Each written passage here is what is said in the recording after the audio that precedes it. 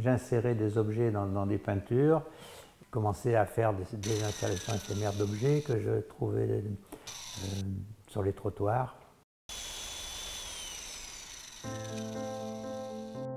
Au tout début, j'utilisais plus les, objets euh, en plastique euh, de couleur parce que le but était de faire des photographies et donc j'ai fait pas mal d'installations avec un peu des monochromes de, plastique de couleur, etc.